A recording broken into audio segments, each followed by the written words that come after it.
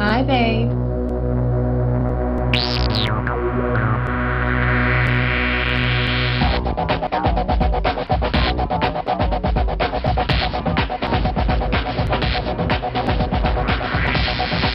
No.